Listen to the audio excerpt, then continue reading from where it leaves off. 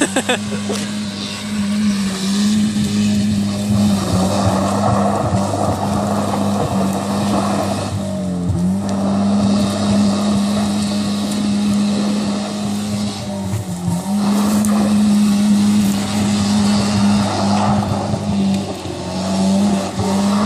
this is narad.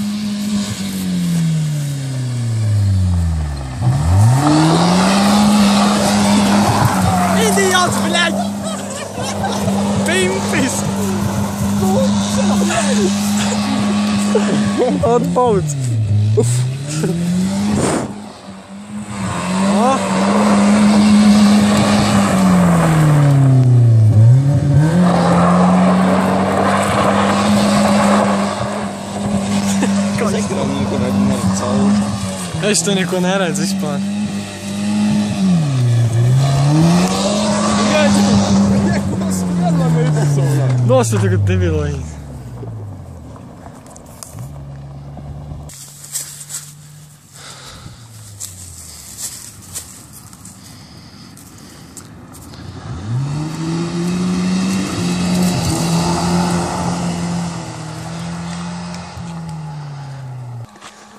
Es ar pietītu, lai man jau ir pietuvināts.